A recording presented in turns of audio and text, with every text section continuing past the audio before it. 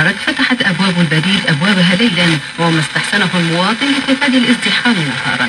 ربطاج مع نبيل السعودي مع بداية العديد النخيلي لاستقبال عيد الفطر المبارك. فتحت مكاتب البريد أبوابها أمام المواطنين خلال الفترة الليلية في رمضان. العينة من مكاتب العاصمة إجراء بقي استحسان المواطنين لكما تبرزه هذه الأصدار أنا هذا من الناس كنت نحوس في الليكور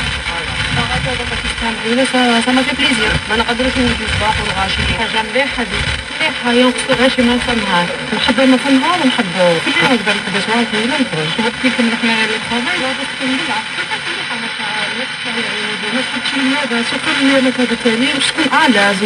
عشر أيام قبل العيد واحد يقدر يجبد الدراهم وواحد ما يكونش غاشي صباح هذه حاجة ملاحه بزاف. إدارة بريد الجزائر سخرت كل الإمكانيات المادية والبشرية لتمكين زبائنها من الاستفادة من خدماتها البريدية بأريحية يقول نيد سعيد محمد رئيس مصلحة بالبريد المركزي رانا نحلوا من 9 ونص ل 11 ونص لمساعدة المتقاعدين والعمال الأجور تاعهم راح يدخلوا في هذه العشر أيام هذويا كاين سيولة وحنا نقول لهم روحوا هذه الأوقات هذويا اللي كاين في الليل هذو موا في النهار كلش الإزدحام. في الليل راك تشوف الحالة راهي فارغة. إجراء من شأنه توفير السيولة المالية فضلا عن تقديم خدمة نوعية للزبائن ومع اقتراب عيد الفطر تقبل العائلات بكثافة على المحلات والطبقات لاقتناء والأجواء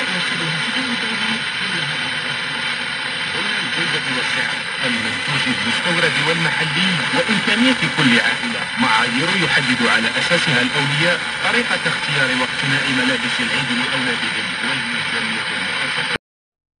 الجارية عديد العمليات التي أسفرت عن نتائج نوعية. ففي إطار مكافحة الإرهاب أوقفت مفارز مشتركة للجيش الوطني الشعبي ثمانية عناصر دعم للجماعات الإرهابية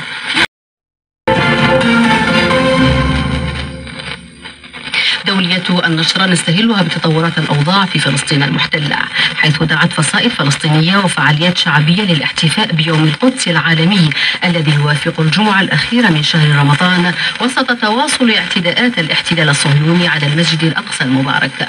وأطلقت الهيئة الدولية لإحياء يوم القدس العالمي شعارا موحدا ليوم القدس لهذا العام تحت عنوان الضفة درع للقدس. وقالت الهيئة ها هي الضفة الغربية تطلق انتفاضتها من جديد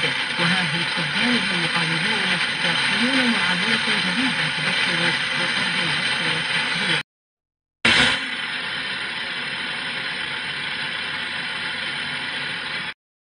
ورحنا مشاركات عاد الرياضات تلعب حوار يرسلنا على التلاشي كذلك كرة الجرس كذلك نحاول